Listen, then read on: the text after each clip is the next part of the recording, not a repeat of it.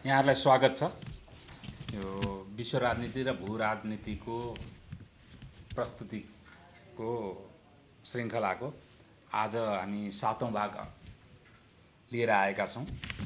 यसमा हामीहरू मूलत बङ्गालको खाडी र मलक्का स्टेटको जियो पोलिटिकल महत्त्व भू राजनीतिक महत्त्व र यसले नेपाललाई पनि अब कुनै न कुनै किसिमले असर त परि नै हाल्छ। नेपालको सम्पूर्ण पारवाहन सामुद्रिक पारवाहन भनेको सबै राष्ट्रहरूसित अब अहिले छिन्ता बन्दरगाह प्रयोग गर्छु भने पनि त हुने त कलकत्तैबाट हो होइन? हामी सैद्धान्तिक कुराहरूमा खुसी लाग्नु राम्रो कुरा हो। खुसी लागेपछि त खुसी मान्छेले चाहिँ मतलब प्रतिक्रिया खुसी मान्छे चाहिँ प्रतिक्रियात्मक र असभ्य हुँदैन नि त। त्यस कारण त्यसैमा पनि खुसी भयो भने असल कुरा हो। तर त्यसको व्यवहारिक कार्यान्वयन कति होला आफ्नो ठाउँमा छ। त्यसैले आजको विषय चाहिँ नि यो छ। तर जसरी हामीहरू प्रस्तुत गर्दैछौँ त्यो सँगसँगै के छ भन्नुहुन्छ भने यी भू राजनीति र विश्व राजनीतिसित जोडिएका प्रसङ्गहरू चाहिँ करेन्ट एफेयर्सको रूपमा आइरहेका छन्। अहिलेको तात तातो अब चाहिँ यो यो एपिसोड चाहिँ तपाईँलाई छ सक्नुहुन्छ भने दुई तिन दिनमै अपलोड गर्नुभयो भने चाहिँ बढी सान्दर्भिक पनि हुन्छ। अहिलेको सबभन्दा तातो प्रसङ्ग के छ भन्नुहुन्छ भने भारतले S four hundred missile defence system missile प्रतिरक्षा प्रणाली रुसबाट चाहिँ पाँच अरब डलर बराबरको खरिद गर्ने भयो त्यही रुससित फाइटर विमानहरू चाइनाले खरिद गरेकोमा काट्सा लगाएर चाइना विरुद्ध प्रतिबन्ध लगाउँछु भनेर अमेरिका उत्रिएकै हो। र अहिले चाहिँ इरानसित पनि नोभेम्बरसम्ममा तेल आयात शून्य गर भनेर दबाब दिएको हो। भारतलाई अमेरिकाले टु प्लस टूको वार्ता पनि यहाँभन्दा अगाडि भएकै हो। यद्यपि त्यसमा जुन कम्कोसा र को एग्रिमेन्ट भएको छ त्यो एग्रिमेन्टले चाहिँ लगभग लगभग भारतले जहाँ पनि बड चाहिँ आफ्ना डिफेन्स इक्विपमेन्ट ल्याए पनि त्यसको सञ्चालनको सूचना अथवा सञ्चालनको अनुमति चाहिँ अप्रत्यक्ष रूपमा अमेरिकाको हातमा रहन्छ भन्ने कुराको सङ्केत पनि गर्छ। तर त्यो सँगसँगै भारतले दुईवटा कुरा चाहिँ पटक्कै अमेरिकाको आज्ञालाई पालना गरेन। त्यो पालना नगरेको कुरा हो एउटा रुससितको यो सम्झौता। र यद्यपि चिठीमा त योभन्दा अगाडि नै बिस अरब डलर बराबरको रक्षा सौदा त अमेरिकासित पनि गरिसकेको छ। त्यो रक्षा र अरू सामानको सौदा उसले र इरानसितको तेलको मतलब डिल आजै मात्रै आएको छ। अब आउने महिनामा तेलको चाहिँ उसले आयात घटाउँछ भन्दाखेरि भारतले चाहिँ नौ सय मिलियन ब्यारेल इरानबाट तेल किन्ने सम्झौता गरौँ। अब यो नोभेम्बर महिनाका लागि। नोभेम्बर महिनाबाट नै अन्त्य गर भनेको नोभेम्बर महिनाकै लागि नौ सय मिलियन ब्यारेल चाहिँ खरिद गर्ने सम्झौता गर्यो भारतले। र अर्कोतिर रुससित पनि यो सम्झौता गर्यो। यस पछाडि जुन भारतसँग भएको करेन्सी वार छ अमेरिकाको यो करेन्सी वारमा मैले दुःख पाउँछु भन्ने कुरो भारतलाई हेक्का थियो र करेन्सी वारको असर जनताहरूलाई सबभन्दा पहिलो पेट्रोलियम प्रडक्टबाट परिरहेको थियो। र यो सम्झौता हुनुभन्दा अगाडि रुससित यो डिल हुनुभन्दा अगाडि एक दिन अगाडि सायद भारतले चाहिँ केन्द्रीय चाहिँ केही ड्युटीहरू पनि घटाएर प्रान्तीय ड्युटीहरू पनि घटाएर पेट्रोलियम प्रडक्टको पे पेट्रोलियमको चाहिँ मूल्य घटाउनका लागि त्यहाँका अर्थमन्त्रीले प्रान्तीय सरकारलाई पनि आह्वान गरे। केन्द्रीय के मतलब अढाई रुपियाँ कति चाहिँ नि केन्द्रले पनि ड्युटी चाहिँ घटाइदियो। तर त्यो हुने बित्तिकै एउटा स्थिति के भयो भन्नुहुन्छ भने यता टाले उता भाङ उता टाले उता भङ भने जस्तो भयो इन्डियालाई। स्टक एक्सचेन्जमा पेट्रोलियमको कारोबार गर्ने जति सब जति लिस्टेड कम्पनी थिए तिनीहरूको सबैको सेयर चाहिँ भयङ्कर डिप्लेट गर्यो। एकदमै बियर स्ट्रेन भन्छ स्टक एक्सचेन्ज चाहिँ मतलब लुड्किएर गयो। स्टक एक्सचेन्ज लुड्किएर गयो डलर विड्र भयो फेरि। बाहिरबाट ल्याएको जुन थियो उनीहरूले फिर्ता गयो डलरहरू। अनि माग र आपूर्तिको कारणले पनि के भने डलरको रिजर्भ चाहिँ इन्डियामा स्वात्तै घट्यो। त्यही बिचमा बिस अरब डलरको सौदाबाजी चाहिँ अमेरिकासित पनि पहिले गरिसकेका छ। अरू दस अरबको defence equipment S four hundred लगायतको defence equipment चाहिँ म उसित किन्छु। के अरे रसियासित किन्छु भनेपछि त डलरको माग राज्यलाईले पनि ठुलो भयो। ती माथि आएको डलर बाहिरियो। त यस किसिमले भारतमा चाहिँ करेन्सी वार टाल्छु भन्दा पनि बरकरारै रहेको अवस्था छ। अब उनीहरूको चाहिँ अब पेगिङ गरिहाल्न सक्ने स्थिति छैन। अब त्यसले गर्दाखेरि नेपालको त के भने हाम्रो त सती राष्ट्रियता बाहिरबाट हेर्दा राष्ट्रवादको कुरा भयङ्कर गर्ने लगेर इन्डियन करेन्सीसित बिना पत्तामा अहिले पनि पेक गरिरहेको छ आफ्नो करेन्सी। अब इन्डिया र अमेरिकाको करेन्सी वार चल्छ भिक्टिम जति हामी नेपाली जनता हुनुपर्ने नेपालको अर्थव्यवस्था त स्टेसनरी छ। केही तपाईँको चाहिँ बाहिरबाट आउने डलर कम भएर यस्तो स्थिति आएको पनि होइन। हामीहरू जस्ता थियौँ त्यस्तै थियौँ छौँ। त जस्ताको तस्तै हुँदाखेरि पनि यो भाडी विपद हामीहरूले किन भोग्नुपर्ने? अब भन्यो त अब कानमा त्यसले लाग्दैन त। यो कन्फ्युज मान्छेहरूबाट शासित हुनु जस्तो दुर्भाग्य केही हुँदो रहेन रहेछ। सबै हाम्रा नीति निर्माणता मान कन्फ्युज छन्। अब कन्फ्युज मान्छे चाहिँ अब कता के गर्ने हो? यता जाउँ भन्छ उता जाउँ भन्छ केराको पातैले भन त्यहीँ बसिरहेको केरा पात यता र उता ढल्के पनि घाम बढ्ने त। त्यही डन्ठीमा डाँसिएर हो त्यही स्थिति चाहिँ नि भयो सरकारको अहिले। यस्ता चाहिँ विज्ञ विज्ञ मान्छेहरू बसिरहेका छन् यो गरिरहेका छैन। अस्ति मात्रै फेरि हाम्रो ब्युरोक्राटको पनि अचम्म छ। पदमुक्त भएपछि बुद्धि नै बुद्धि आउने पदमा हुँदा बुद्धि कहिल्यै नआउने अचम्मको विषय छ। शान्तराज सुवेदी कि पहिले हुनुहुन्थ्यो नि? सुवेदी नै अर्थमन् सचिव। अर्थ सचिव हुनुहुन्थ्यो। उहाँको चाहिँ हिमालमा आर्टिकल आइरहेको थियो। अब पेगिङको बारेमा पुनरावलोकन पऱ्यो या पऱ्यो या पऱ्यो भनेर राम्रै कुरा लेख्नु भएछ म त दुई हजार तेह्रदेखि बोली आएको मान्छे। तँ चाहिँ अर्थशास्त्र नपढेको हुनाले त्यसलाई बोल्न निषेध छसम्म भने नेपालका पोलिसी मेकरले मलाई। उहाँले लेख्नु भएछ तर पहिले उहाँ नै अर्थ सचिव हुँदाखेरि त लुड्केको हो नि त बिना पत्तामा। र यहाँ पेट्रोलियम बढाएको छ अब पैसा लिएर बजारमा जानुहोस्। त्यो हाइपर इन्फ्लेसनको अध्यायमा हामीहरू गइ गइसकेका छौँ। र यस्तो स्थिति छ कि कुनै पनि विकास परियोजना चाहिँ अब तय बजेटमा नभएर कर बढाएर त्यो करले यो चाहिँ ग्याप पूर्ति गरेर ती परियोजनाहरूले सरकारले लाने स्थिति देखियो त्यसले कर बढेर गएको छ अहिले। त कर किन बढ्यो भनेर तपाईँहरू छक्क पर्नु होला। एक अरब रुपियाँमा कुनै पनि परियोजना सरकारले तय गरेको थियो भने त्यो परियोजनाको चाहिँ आज डलरको कारणले बिस प्रतिशत बढ्यो। एक अरब बिस करोड भयो त्यसको। त्यो बिस करोड कहाँबाट ल्याउनु त अब? रेगुलर खर्च पनि सरकारले गर्नै पर्यो। भन बिस करोड भने त अब करको दायरा बढाउने र दर बढाउने। दुइटै काम गरेर अब मर कर घर कर जोर कर के के कर भनिसक्दै छ त्यो स्थिति आएको छ। र सरकारको त के छ भने जति घाटा भए पनि एउटा छुट छ सरकारलाई आफ्नो घाटा जति उसले चाहिँ करबाट पूर्ति गर्न सक्छ। त निजी क्षेत्र पनि इन्फ्रास्ट्रक्चरमा अहिले संलग्न भएको अवस्था छ यत्रो धेरै। सरकारी परियोजनाभन्दा इन्फ्रास्ट्रक्चरमा जल खास गरिकन जलविद्युतमा त निजी परियोजना बढी छन् अहिले। आजको यो जुन विकास भइरहेको छ यो क्षेत्रको निजीले गर्दा नै भएको सरकारीले त ऊ त पचास करोडमा एक मेगावाट बनाउने हो बनाइहाले पनि। अहिलेसम्म निजीले त पच्चिस छब्बिसभन्दा बढी त लगाएको छैन। यस्तो महँगी बढ्दाखेरि पनि। अब तिनीहरूको चाहिँ त हालत के हुन्छ? त्यहाँ त अब निजी क्षेत्रले त कर उठाएर त घाटा आपूर्ति गरेर पाउँदैन दिन सक्दैन। अनि ब्याङ्कले दिने पनि पैसा दिन सक्छ ल दिन्छ। लगानी गर्नेले पनि लगानी गरिसकेका हुन्छ इक्विटी हाल्नेले पनि अब त्यो तय बजेटले पुगेन भने कहाँबाट लिएर आउने पैसा ब्याङ्कलाई हाल भन्दाखेरि फाइनेन्सियल इन्डिकेटर त भागेर कहाँ पुग्छ पुग्छ?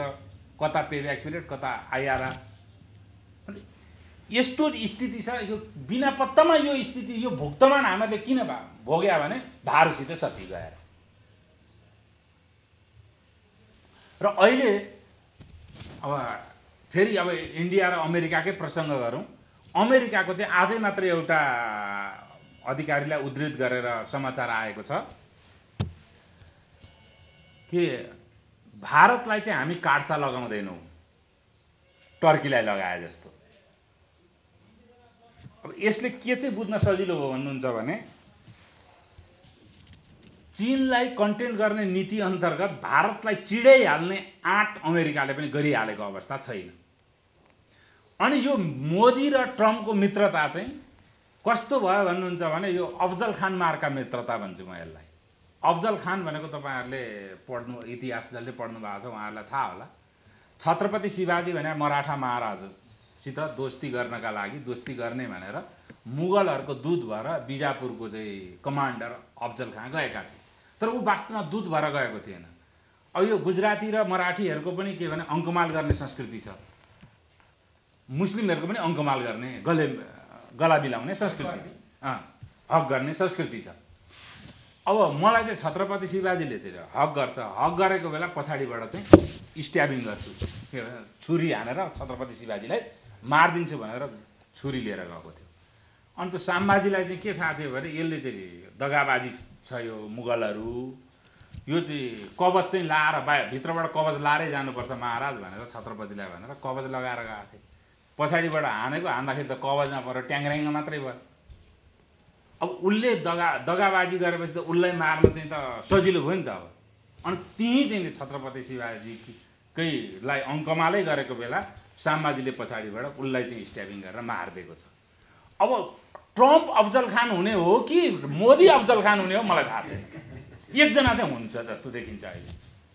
तर मोस्ट प्रोभाब्ली अफजल खान हुने सम्भावना मोदीकै छ। किनभने उन्नाइसमा मोदीकै चुनाव आएको छ ट्रम्पको त बिसमा छ। त्यो इस यो स्थिति देखिरहेको छु। अहिले करेन्ट एफेयर्सबाटै सुरु गरौँ। अर्को अब चाहिँ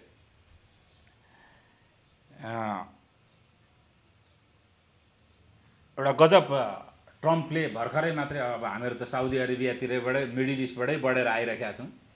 साउदी अरेबियाको राजालाई चाहिँ तिमीले हामीहरूले टे टेकाएनौ भने सात दिन पनि टिक्दैनौ के सोचेको छ भनेर? सार्वजनिक रूपमा। अस्ति हप्का। हप्काकै त हो नि त किङ सलमानलाई अमेरिकाले सपोर्ट गरेन भने सात दिन पनि टिक्दैन भनेर। तर त्यसको बावजुद अनि त्यस पछाडि तुरुन्तै चाहिँ रसियन अधिकारीलाई उद्धित गर्दै रसियन टेलिभिजन आरटीले चाहिँ समाचार प्रसारण गर्यो। अब इरान र साउदी अरेबिया चाहिँ पहिले शाहका पाला जस्तै मित्र हुनुपर्छ भनेर। तर आज बिहान फेरि त्यसको उप जुन के अरे युवराज छन् युवराजले चाहिँ इरानलाई तेलको बजारबाट विस्थापित गर्न के गर्नुपर्छ? एक एक थोपा तेल पनि उसलाई बेच्न नदिने गरी हामीहरू अग्रसर भएको छौँ भनेर अमेरिकासित सरी भनेका छन्। हजुर यो बडो चाखलाग्दो किसिमले घटनाक्रमहरू अगाडि बढिरहेका छन्। अब हेरौँ के हुन्छ। अब म चाहिँ यो मुख्य विषय नै यो पहिलेका विषय हुन्। हामी यो श्रीलङ्कासम्म लगभग आएका छौँ। अब यो बङ्गालको खाडी चाहिँ आजदेखि होइन अब धेरै पहिलेदेखि भनौँ न। रामायण कालमा पनि बङ्गालका खाडी पारीका राष्ट्रहरू चाहिँ भारतवर्षमा आएर महाभारत कालमा पनि लडेकै देखिन्छ। अनि रामायण महाभारत कालदेखिकै सम्बन्ध देखिन्छ। त्यो त पौराणिक कालको कुरा हो पछि जुन अब साम्राज्यवादको उदय भयो साम्राज्यवादको उदय भए पछाडि यो क्षेत्रलाई नियन्त्रण गर्न यो जल क्षेत्रलाई नियन्त्रण गर्नलाई डच भनेको Netherland France French Belgian British Portuguese सबैको चाहिँ भीषण सङ्घर्ष भएको छ यो जलक्षेत्र संसारमा न्या नेभिगेसनमा सबभन्दा ठुलो योगदान र धेरै रुट पत्ता लगाएका त पोर्तुगिजले नै हुन्। धेरै ठाउँ उनीहरूले चाहिँ गर्दै गर्दै गरे। र पूर्वको सबभन्दा ठुलो ट्रान्जिट पोइन्टको रूपमा चाहिँ श्रीलङ्का हो। पोर्तुगिजहरू पनि सबभन्दा पहिले श्रीलङ्का नै आएका हुन् र श्रीलङ्कालाई सबभन्दा पहिले पोर्तुगिजले नै नियन्त्रणमा लिएका हुन्। त्यसपछि यो ट्रान्जिट पोइन्ट जुन सबै सबभन्दा ठुलो जनसङ्ख्या भन्नुहोस्। अब एसियाका सबभन्दा ठुला जनसङ्ख्या केन्द्र भनेको तिनवटा। एउटा भारतीय उपमहाद्वीप। उपमहाद्वीप कुरा गरौँ। अझ भारत यो साउथ एसियामा प्रवेश गरेपछि म यसको बारेमा बढी कुरा गर्छु। अनि भारत भने चाहिँ र इन्डिया भने चाहिँ कल्चरल टेरिटोरी हो। यो भारत त्यो दुइटै नाम चाहिँ अहिलेको हिन्दुस्तानले राखिदिएर हामीहरूलाई बडो टेन्सन लगाएको छ हेर्नुहोस्। जस्तो बाल्कन भनेपछि धेरैवटा देश आउँछन्। अरब भनेपछि धेरै देश आउँछन्। त्यस्तै पहिले त अब त्यो तपाईँले पौराणिक रूपमा ऐतिहासिक रूपमा जानु किनभने अलेक्जेन्डरकै एक युगमा जानुभयो भने भन्न चाहिँ भारत भनेको छ कमन तर यति धेरै राजा छन् र यति धेरै सोभेरियन राष्ट्र छन् त्यहाँ तपाईँले इतिहास पढे भइहाल्छ। त्यो स्थिति हो। अनि एउटा भारतवर्ष यो एरिया अर्को इन्डोनेसिया अर्को चिन। यी तिनटै चाहिँ जुन जनसङ्ख्या केन्द्र छ जनसङ्ख्या भने त बजार हो नि त। जनसङ्ख्या भने के भने बजार पनि हो उत्पादन पनि हो। यो बहुतै महत्त्वपूर्ण कुरा छ। संसारमा पैसोभन्दा पहिले बुद्धि श्रम र स्रोत आएको बुद्धि श्रम र स्रोतले पैसा निर्माण गरेको अनि जनसङ्ख्या भन्ने बित्तिकै त मान्छेसितै त हुने हो नि त्यो। प्रकृतिसित स्रोत हुन्छ मान्छेसित बुद्धि र श्रम हुन्छ मानवीय संसाधन जसलाई अहिले चाहिँ आधुनिक भाषामा भनिन्छ। त्यो सबै हिसाबले त अब उनीहरूको औद्योगिक क्रान्ति भएपछि त बजार पनि चाहियो उनीहरूलाई। अनि आफ्ना उत्पादनहरू सस्तोमा चाहिँ त अब भारी बोक्ने भरियाहरू चाहियो लेबरहरू चाहियो त्यो सबै कहाँ भनेर त भारतमा उपलब्ध हुने भए। अनि भारतसित यो कन्फ्लिक्ट अफ सिभिलाइजेसनको इतिहास हेर्नुभयो भने सबै साम्राज्यवादीहरूले चाहिँ पहिले भारतै कब्जा गर्न हिँडेका छन्। तपाईँ भास्कोटी गामा भन्नुहुन्छ कि? त्यो भारतै कब्जा गर्न आएको नाभि। अलेक्जेन्डर द ग्रेट पनि अरूतिर होइन भारतै कब्जा गर्न आउँदाखेरि त्यो इरानहरू सबै कब्जा भएका हुन् बिचमा। उसको गन्तव्य नै उसले त एरिस्टोटललाई भनेकै छ कि म भारतको विजय यात्रामा जान्छु भन्दाखेरि त्यहाँ जानु विजय पनि गर्नु तर खरानी धसेका जटा पालेका यस्ता जोगी हुन्छन् तिनीहरूलाई केही नगर्नु तिनीहरूको चाहिँ शरण पर्नु भनेर उपदेश दिएको छ। ऊ पनि भारतै कब्जा गर्न आएको चङ्गिस खाँ पनि भारतै कब्जा गर्न आएको त्यो पहिलेदेखि नै चाहिँ मतलब जो मान्छे चक्रवर्ती हुन चाहन्थ्यो विश्वमा त्यसले भारत कब्जा गर्ने सपना देखे हो।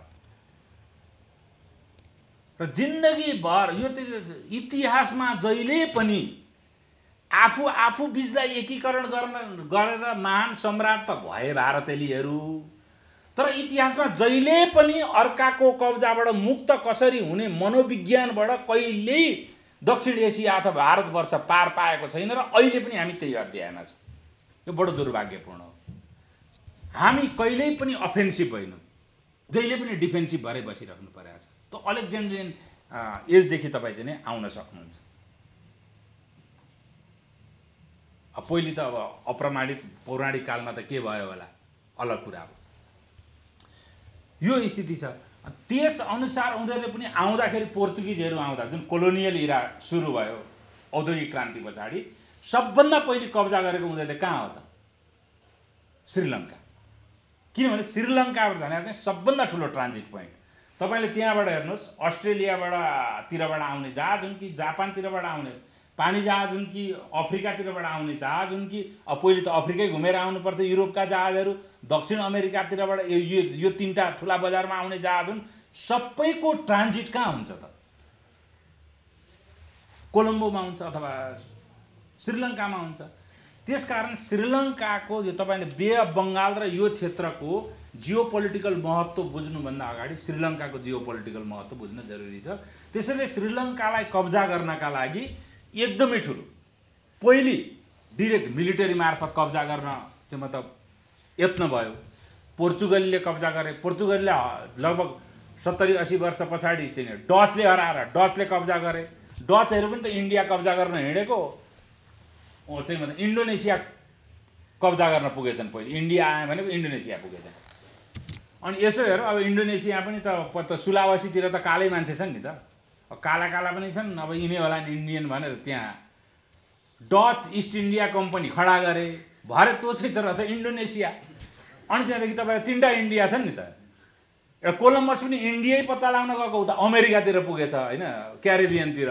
अनि काला मान्छे छन् अग्ला मान्छे छन् यिनै होला इन्डिया भनेको त होइन रहेछ। अनि त वेस्ट इन्डिज भयो। यो डच इन्डिज भयो। अनि पछि चाहिँ त अब यो चाहिँ अर्को साँच्चै इन्डिया त इन्डियै हो। ती त इन्डिया त थिएन। तर इन्डियाबाट उनीहरूको पनि नामाकरण भयो अनि पछि डचले कब्जा गरे। पहिले चाहिँ उता इन्डोनेसिया कब्जा गरे अनि त्यस पछाडि डचको लडाइँ भयो। चाहिँ उसमा। अनि डचले कब्जा गरेपछि त अब यो सबै कलकत्तातिरबाट अब फेरि ब्रिटिसहरू त कलकत्ताबाट छिर्यायो नि त। यो बङ्गालको पनि विचित्र इतिहास छ कि जियो पोलिटिकल भने पनि जियो हिस्टोरिकल के भन्ने यसलाई? सारा चाहिँ त्यो त यो भेदीहरूलाई प्रशय दिने चाहिँ बङ्गाली। अङ्ग्रेज होस् कि मिर्जाफर होस् कि जोसुकै भारतमा पनि त अङ्ग्रेज साम्राज्य भने त बङ्गालबाट सुरु भएको हो नि त। उन्नाइस सय दससम्म त अझ भा यो पाकिस्तानसहित बङ्गलादेशसहितको बृहत भारतको अङ्ग्रेजको राजधानी नै कलकत्ता थियो। उन्नाइस सय दसबाट छाडि दिल्ली सारे आयो त्यहीँ हो अरे त्यो मिर मिर मिर जाफरले। मिर जाफरले।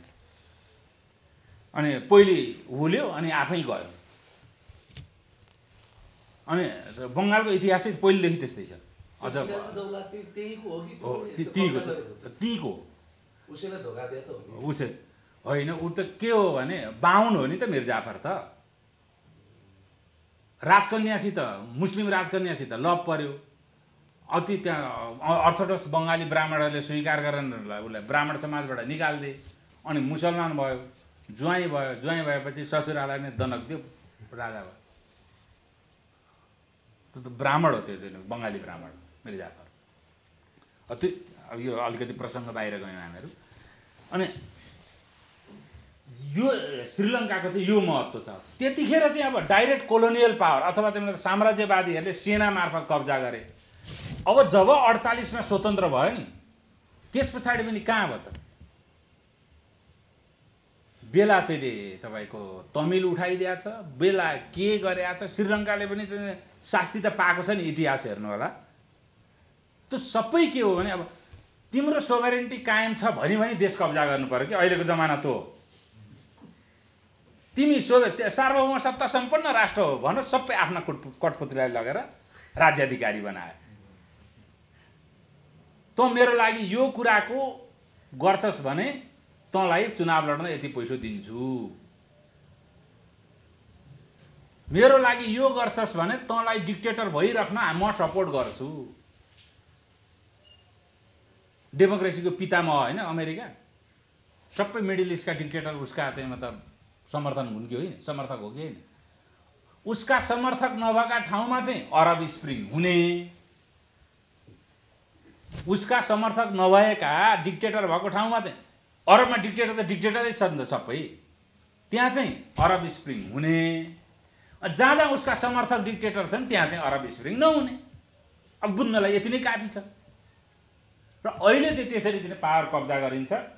र अहिले पनि चाहिँ मतलब श्रीलङ्कामा त्यो द्वन्द्व भीषण छ श्रीलङ्का आफ्नो पक्षमा लिन।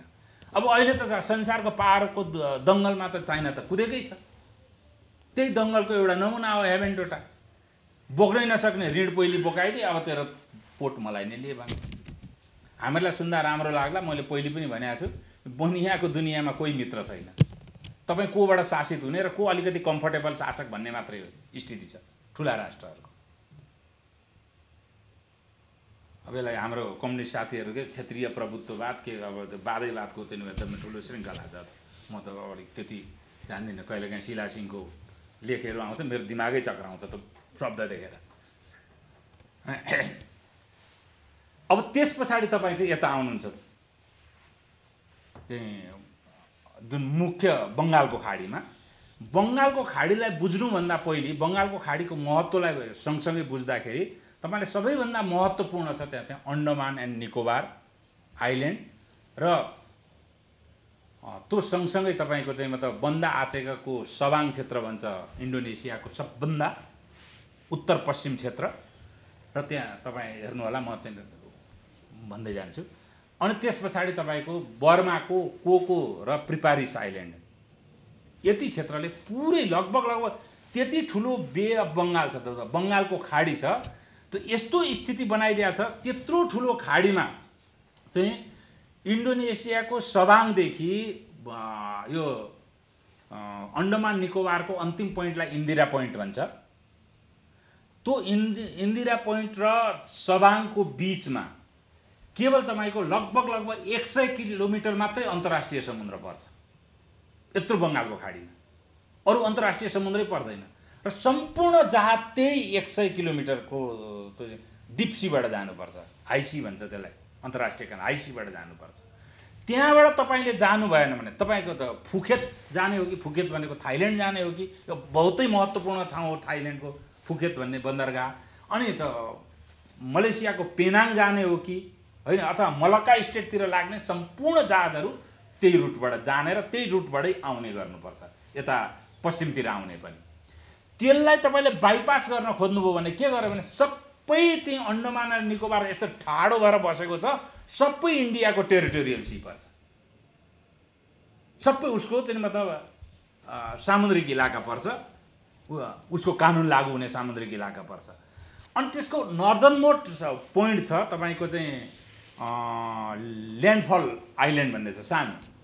त्यहाँदेखि मासतिर को को आइल्यान्ड छ? बर्माको पुग्छ। त्यहाँ बिस किलोमिटर मात्रै दुरी छ। त्यहाँ पनि दुइटाको टेरिटोरियल सी पर्छ त्यहाँभन्दा माथि आउनु पऱ्यो भने एकैचोटि रङ्गुनदेखि प्रिपारिस आइल्यान्ड भन्ने बर्माको छ। त्यसको बिचमा लगभग लगभग सवा सय किलोमिटर हाइसी पर्छ।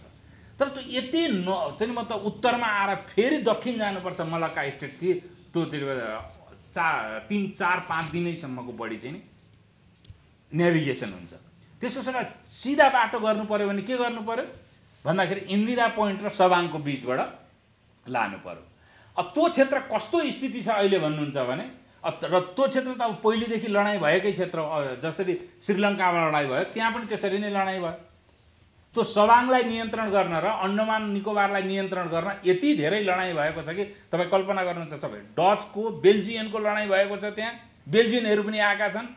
फ्रेन्च आएका छन्। ब्रिटिसहरू त अब आउने नै भइहाले सबैले त्यहाँ लडाइँ गरेका छन्। कारण के भने त्यो सय किलोमिटरको त्यो स्टेट जुन छ नेभिगेसन डिप्सी त्यसमाथि आफ्नो स्ट्राटेजिक दबदबा निर्माण गर्नलाई। र अब अहिले आएर भारत के कम उसले पनि के गर्यो भने भारतको तिनैवटा सेनाको युनिफाइड सबभन्दा ठुलो कमान्ड कहीँ छ भने त्यो अन्डमान निकोबारमा छ। तपाईँले पढ्नु होला गुगल गर्नु होला अनि तलतिर जो बन्दा आचेको सबाङ भन्ने छ त्यो पनि इन्डियन मिलिटरी युजेजको लागि इन्डोनेसियाबाट भारतले लिएको छ। अब के सोच्नु भने त्यो सय किलोमिटरको जुन स्टेट छ मलक्का स्टेटभन्दा अगाडिको मलक्का स्टेटमा जानु भने त प्रवेश त गर्नु पऱ्यो नि त। प्रवेश गर्ने ठाउँमा गेटवे जुन छ मलक्का स्टेटको पश्चिमपट्टिको गेटवे पूर्वपट्टिको गेटवे पछि आउँछु। त्यो पश्चिमपट्टिको गेटवेमा इन्दिरा पोइन्ट र सबाङको दुइटै बिचमा भारतले मिलिटरी प्रेजेन्स छ। अब उसले नचाहेको कसैलाई पनि चोकिङ गर्नु पऱ्यो भने त्यहाँ उसले बाहेक कसैले सक्दै सक्दैन उसित लडाइँ गर्न आउनुपर्ने अर्को चाहिँ राष्ट्र त्यहाँ को हो भन्दाखेरि इन्डोनेसिया इन्डोनेसिया भारतसित कहिले लडाइँ नै गर्दैन। इतिहासमा उनीहरूको सम्बन्ध त्यो स्थितिको छ। भने यो एउटा यस्तो चाहिँ त जियो पोलिटिकल्ली अथवा जियो स्ट्राटेजिकल्ली इम्पोर्टेन्ट कुरो ठाउँ छ त्यो ठाउँका लागि नै र पश्चिमतिरको पनि छँदैछ अस्ति भनिसकेँ। विशेष गरेर त्यही ठाउँका लागि युएसएले आफ्नो पेसिफिक कमान्डलाई इन्डो पेसिफिक कमान्ड बनायो। किन त्यो ठाउँ? भन्दाखेरि अब यसमा मलक्का स्टेटलाई जोडौँ।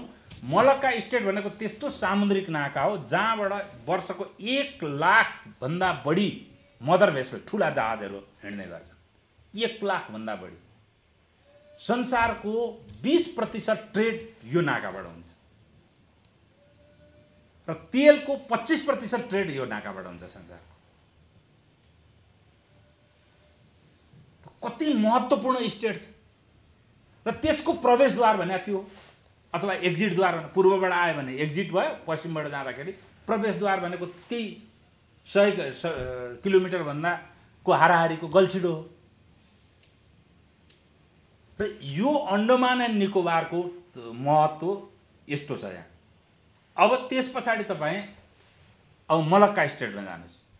अब मलक्का स्टेटमा पनि अब प्रिभेल गर्नलाई के हो भने कि इन्डोनेसिया प्रिभेल गर्नु पऱ्यो कि मलेसिया कि सिङ्गापुर? अब सिङ्गा पहिले पनि मैले एउटा काहीँ भने सिङ्गापुर सिटी स्टेट त्यसै बनाएको होइन गोराहरूले। त्यो मलक्का स्टेटलाई नियन्त्रण गर्न नै पश्चिम परस्त सिटी स्टेट बनाएको नभए त जौहर स्टेटकै हो नि पैँसठीसम्म। जोहर स्टेट भनेको मलेसिया। मलेसियाकै हो त पछि पैँसठीसम्म। अहिले पनि मलेसियाले पानी दिएन भने पानी खान पाउँदैन सिङ्गापुरले। पानी जति सबै खाने पिउने पानी सबै मलेसियाबाट लिएर जाने हो। र त्यो कस्तो गल्छिडो छ भन्नुहुन्छ भने अब सामुद्रिक कानुनअनुसार त तेइस किलोमिटरसम्म त टेरिटोरियल सी हुन्छ। जहाँ आएर समुद्रको पानी ठोकिन्छ त्यसबाट बाह्र पोइन्ट आठ माइल भन्छ कि तेह्र पोइन्ट तेह्र माइलको हाराहारी त्यति परसम्म चाहिँ टेरिटोरियल सी मानिन्छ। हाम्रो चाहिँ जहाँ राज्यको सिमाना हुन्छ ती सिमाना टुङ्गिन्छ। जसले समुद्र छे छेकेका छन् तिनीहरूको चाहिँ जमिनभन्दा तेह्र किलो माइल परसम्म उनीहरूको सिमाना विस्तारित हुन्छ। त्यो विस्तारितले हेर्नुभयो भने काहीँ पनि तेह्र नटिकल माइलै छैन कि? त्यो मलक्का स्टेट।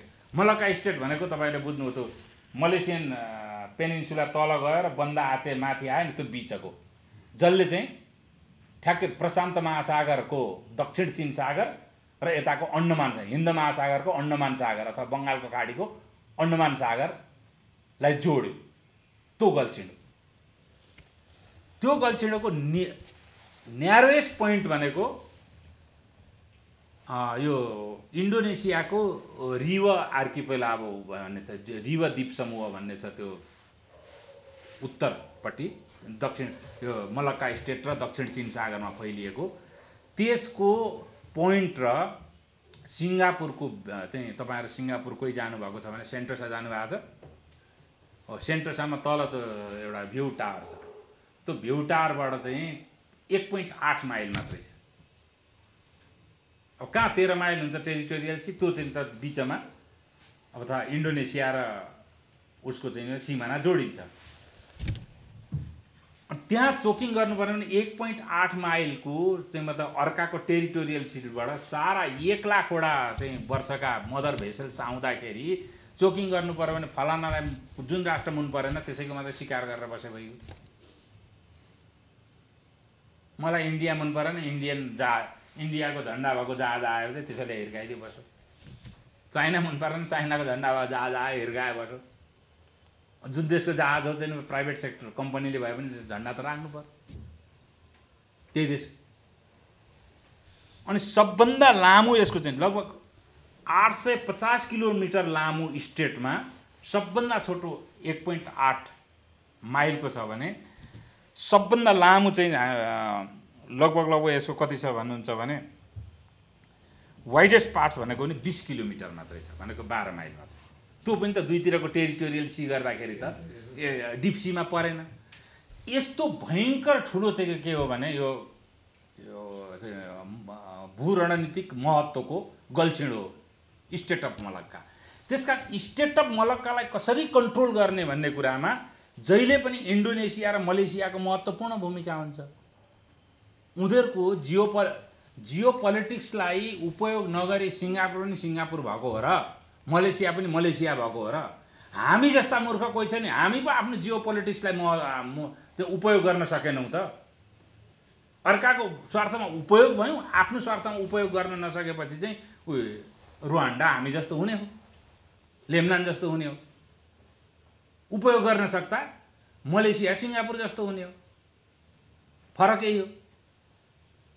यही मलक्का स्टेटलाई उपयोग गरेर नै मलेसियाको बार्गेनिङ क्यापासिटी अन्तर्राष्ट्रिय स्तरमा बढ्यो। अनि उसले चाहिँ आफ्नो प्रगति गर्यो। किन उसले भनेको कुरो जो कोहीले नमान्न गाह्रो भयो मलेसियाले भनेको सिङ्गापुरले भनेको कुरो पनि जो कोहीले नमान्न गाह्रो भयो तीमाथि अब लिक्वान्यु भने त भयङ्करै मान्छे थिए। इन्डोनेसियाको पनि त्यही स्थिति हो। अब इन्डोनेसियामा कम दुःख दिन खोजे आएन त कब्जा गर्नमा इन्डोनेसियाको टोटल पोलिटिक्समा अहिले पनि भयङ्कर त्यहाँ चाहिँ मतलब जहिले तहिले इन्डोनेसियाले पनि साम्प्रदायिक अनेक किसिमका दुःखहरू चाहिँ पाइरहेको छ प्राकृतिक बाहेकका दुःखहरू पनि। अब इन्डोनेसियाको चाहिँ के छ भने अब मैले पश्चिमतिरको भने अब मलक्का स्टेटमा इन्डोनेसियाको चाहिँ अर्को महत्त्वपूर्ण कुरा के छ भन्नुहुन्छ भने जुन उसको पूर्वको प्रवेशद्वार हो नि त त्यो पूर्वको प्रवेशद्वारमा चाहिँ पुरै उसको रिभ आर्किपेलागो साउथ चाइना सीमा पुरै रिभ आर्किपेलागो भन्छ। त द्वीप समूह यो तपाईँलाई अनौठो अनौठो लाग्ला। फेरि इन्डोनेसियाका चाहिँ धेरै नामहरू संस्कृतमा छन्। त्यो रिव कालीमन्त्रम जा जाकर्ता यज्ञकर्ता बाली यस्तो सबै सबै संस्कृतमा नामहरू छन्। अनि त्यो रिव द्वीप समूहले चाहिँ र दक्षिण चिन सागरकै अर्को चाहिँ साना साना यो सोल रिफ भन्छ जो भने चाहिँ समुद्रभित्र नै बालुवाको थुप्रो र चट्टानहरू हुन्छन् ती माथिसम्म आएका हुन्छन् जहाज चाहिँ त्यहाँबाट लिएर जान मिल्दैन तर त्यो चाहिँ पानीभित्रै हुन्छ हुन चाहिँ त्यस्ता ठाउँमा चाहिँ विकसित गरेर त्यहाँ अब पोर्ट पनि बनाउन सकिन्छ अब एयरपोर्ट पनि बनाउन सकिन्छ त्यस्ता ठाउँहरू छन्। त्यसमा चाहिँ त्यसको मुख्य सारा चाहिँ चिन ताइवान जापान फिलिपिन्स अथवा फिलिपिन्सदेखि उता अमेरिकातिरबाट यता मलक्का स्टेट हुँदै भारततिर आउनुपर्ने जति जहाजहरू छन् ती जहाजहरू त्यहीँबाट प्रवेश गर्नुपर्छ र त्यहाँ त्यो प्रवेश गर्ने ठाउँमा चाहिँ पूर्ण इन्डियाको अरे इन्डोनेसियाको टेरिटोरियल सी छ जसरी अन्डमान र निकोबारमा भारत चाहिँ रणनीतिक रूपले दह्रो हुन सकेको छ त्यस्तै गरेर पूर्वपट्टिको दक्षिण चिन सागरबाट जहाँबाट मलक्का स्टेट प्रवेश गर्छ त्यो ठाउँमा इन्डोनेसिया त्यसरी नै दह्राउँछ लगभग लगभग सबै उसको टेरिटोरियल सी पर्छ त्यहाँ पनि। तपाईँले गुगल गरेर त्यो चाहिँ त रिवा चाहिँ भन्नु त्यो मलेसिया पेनिन्सुलाको पारिपट्टि मलेसियाको सारवक छ तलतिर चाहिँ इन्डोनेसियाको सबभन्दा ठुलो चाहिँ कालीमन्त्रम भन्ने छ। त्यो कालीमन्त्रम सारवक र यताको मलेसिया सिङ्गापुरलाई म्याग्निफाई गरेर हेर्नु भने यहाँ गराउन सकिनँ मैले। म्याग्निफाई गरेर हेर्नु हो भने साना साना साना दिपै दिप त्यो रिभ समूह तपाईँले देख्नुहुन्छ। त्यो सबै उसको टेरिटोरियल सी हो त्यसले गर्दाखेरि उतापट्टि चाहिँ नि त इन्डोनेसियाको प्रभुत्व छ। अब यी दुइटा यता इन्डियाको र उता इन्डोनेसियाको प्रभुत्व भएपछि र मास्तिरपट्टि मलेसिया र सिङ्गापुरको प्रभुत्व भएपछि यी चारवटा राष्ट्रले कम्प्लिटली स्टेट अफ मलक्का नियन्त्रण गर्ने हो। अब प्राण कहाँनिर छ भन्नुहुन्छ भने चाइनाको प्राण त्यो स्टेट अफ मलक्कामा आएर ठोकिएको छ। अब स्टेट अफ मलक्कालाई बाइपास गर्नु पऱ्यो भने तपाईँको त्यो बन्दा आचे र त्यो चाहिँ यता त्यो जाकार्ता भएको के अरे? सुमात्रा। सुमात्राको बिचको स्ट्रिपबाट त्यो गल्छिँडो स्टेटबाट जानुपर्छ इन्डोनेसियाबाट। अब इन्डोनेसियाले त्यहाँबाट जान दिने हो भने माथिबाटै जान दिए भइगयो मलाका स्टेटबाटै। त्यो ठाउँमा परेपछि चाहिँ कति डह्रो हुँदो रहेछ भने नि देश। अनि अब चाइनाको चाहिँ के छ भन्नुहुन्छ भने सम्पूर्ण तेल उसको आयात हुने क्षेत्र भनेको सबभन्दा बढी तेल कोसित किन्छ उसले। एक नम्बर साउदी अरेबियाबाट किन्छ दुई नम्बर इरानबाट किन्छ तिन नम्बर अङ्गोलाबाट किन्छ। उसको आयातको अस्सी प्रतिशत यी देशबाट हुने हो बाँकी बिस प्रतिशत मात्रै भेनेजुएला र कजाकस्तान र रुसबाट हुने हो तेल। अनि त्यो तेल लाने कहाँबाट त? भन्दाखेरि त्यो आयातको चार पाँच पर्सेन्ट चाहिँ यसैबाट छटपट्टि भएर उसले पहिले मिलिटरी जुन्ता हुँदै चाइनाले के गर्यो भने कोको आइल्यान्डमा चाहिँ एउटा एयरपोर्ट बनाउन सुरु गरेको थियो। इन्डियाले अब्जेक्सन गर्यो त्यहाँ सत्ता परिवर्तन भयो त्यो फेल भयो प्रोजेक्ट यसै यसैबाट छटपट्टि कस छटपट्टि कस्तो हुन्छ भन्ने कुरा।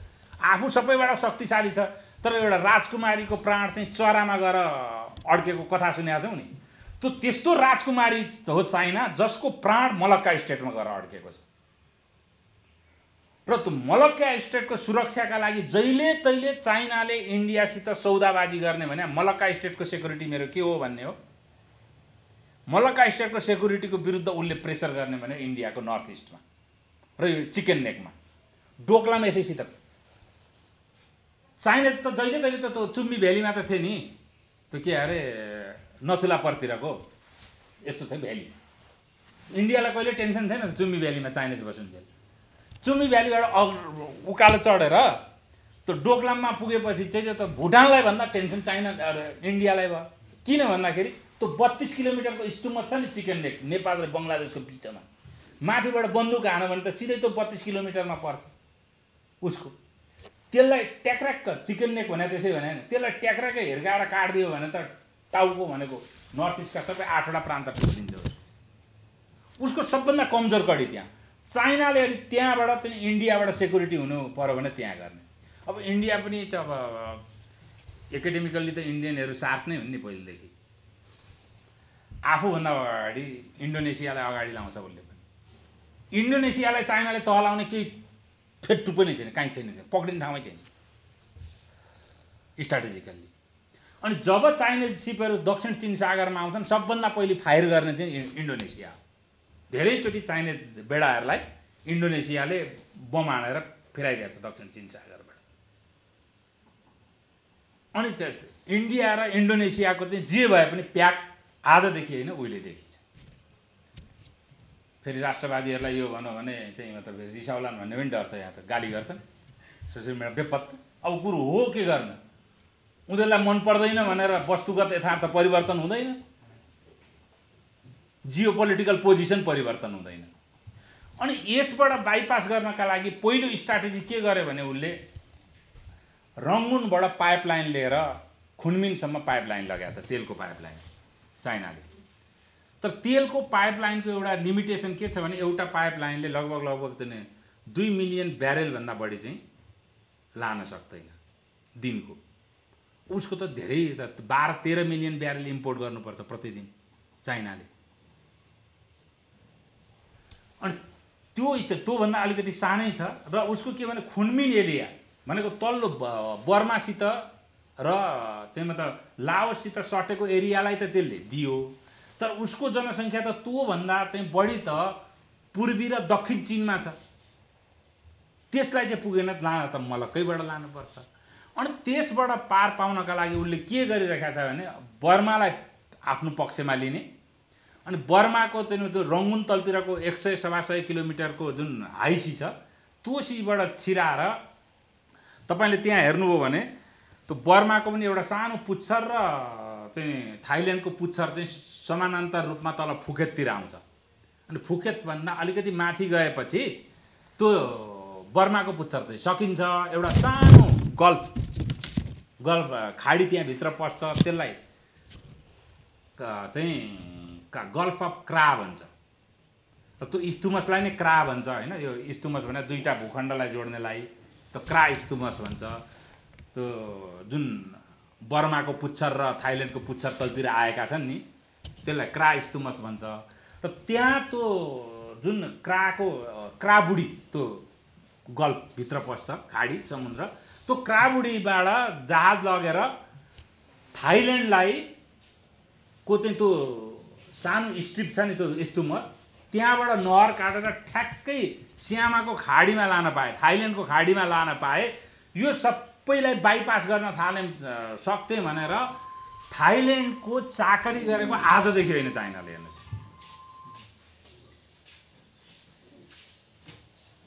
उहिलेदेखि चाइनाले र थाइल्यान्डलाई कहिल्यै अमेरिकन ग्रिपभन्दा थाइल्यान्डहरू बाहिर थाईहरू बाहिर जाँदैन जाने फेरि थाइल्यान्डको कस्तो छ भन्नुहुन्छ भने उपनिवेश नभएको राष्ट्र हो थाइल्यान्ड पनि। उपनिवेश मात्रै होइन प्रोटेक्टोरेट पनि नभएको। उपनिवेश त हामी पनि भएनौँ। मलेसिया पनि भयो मलेसिया पनि प्रोटेक्टोरेटमै रह्यो अङ्ग्रेजहरूको। तर ऊ त प्रोटेक्टोरेट पनि होइन। आफ्नै दमले चाहिँ मतलब स्वतन्त्र राष्ट्र रहेको। तर दोस्रो विश्वयुद्धमा जब चाहिँ ऊ जापानसित लाग्यो बर्मा र चाहिँ थाइल्यान्ड त जापानसित लाग्यो नि त। एउटा गर्वको कुरो पनि भनिदिउँ अब त गर्वको कुरा हो कि होइन मलाई थाहा छैन फेरि। गैर राष्ट्रवादी हो यसलाई भन्ने डर छ। बर्मालाई सरेन्डर गराएको गोर्खालीहरूले अब बर्मा अरे थाइल्यान्डलाई। सेकेन्ड ग्रेड वारमा ब्रिटिस र चाहिँ मतलब फ्रान्सहरूको संयुक्त फोर्सको अगाडि थाइल्यान्डलाई सरेन्डर गराएको चाहिँ गोर्खाली सेनाले। अनि त्यहाँ लागेपछि त्यस पछाडि चाहिँ जब पैँतालिसमा युद्ध अन्त्य भयो युद्ध अन्त्य भएपछि तत्कालीन राजा मैले नाम बिर्सेँ उनको चाहिँ रहस्यमय हत्या भयो। त्यो हत्या भएपछि जब भूमिबल अब्दुल्ला देजलाई ल्याएर राजा बनाइयो उनीलाई राजा बनाएपछि कम्प्लिटली त्यो अमेरिकन ग्रिपमा गयो। थाइल्यान्ड बेला बेला निस्किन खोज्छ फेरि गइहाल्छ। निस्किन खोज्छ फेरि गइहाल्छ। अनि त्यसलाई गर्दाखेरि त अब लाओसबाट दबाब दिएर हुन्छ कि बर्माबाट दबाब दिएर हुन्छ कि त्यो चाइनाले प्रयत्न नगरेको होइन। तर त्यो प्रयत्न अहिलेसम्म पनि सफल भएको छैन। अब हेरौँ यो क्षेत्रको जुन एउटा चाहिँ जियो पोलिटिकल कन्फ्लिक्ट छ उच्चतम स्थितिमा छ अब त्यो कहाँ गएर अन्त्य हुन्छ र त्यसको चाहिँ मतलब सौदाबाजी कहाँ कहाँ हुन्छ त्यो त हेर्न बाँकी नै छ। अब अमेरिका पनि जबरजस्त चाहिँ मतलब इन्टरनेसनल नेभिगेसन रुट भनेपछि इन्डिया इन्डो पेसिफिक कमान्ड गरेर चाहिँ मतलब बसेको छ ऊ पनि यहाँ। मजाले। अब नेपालमा पनि आएर भ्रमण गरिसके त्यसका कमान्डरले। यहाँ पनि नेपाल पनि जियो पोलिटिकल्ली महत्त्वपूर्ण भएको हुनाले त्यो कमान्डरको आदेशमा पक्कै पनि यहाँ नृत्य केही न केही त भएको छ। भला उसको आदेशमा भएको नृत्य चाहिँ यही हो भनेर हामीहरूले पहिचान गर्न नसकेको होस्। त भएको त पक्कै छ। यो स्थिति हो।